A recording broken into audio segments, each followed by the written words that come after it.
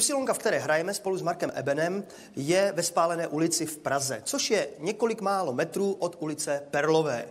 Jistě nemusím vysvětlovat, čím je Perlová ulice prosulá právě takovými slečnami, která tady před chvíli stála. No a jednou takhle po představení kolem 11. hodiny se Marek Eben se svými přáteli vracel domů, bydlí na starém městě, právě kolem této Perlové ulice.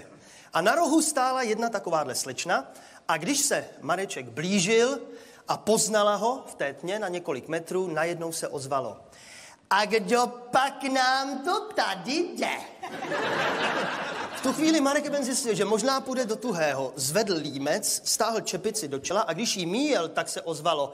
No, no, váleček nešoustá.